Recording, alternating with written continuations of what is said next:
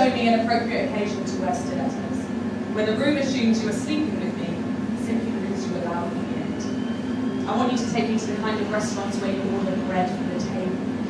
And by British stoicism alone, you will force my chair to shift from one leg to the other.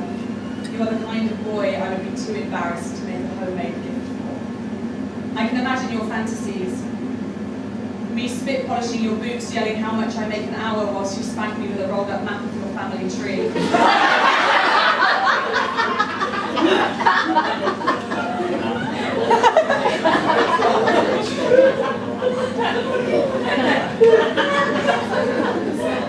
and I will know my place and take it, sinking my NHS teeth into your venison and spilling cheap Chardonnay on those corduroys.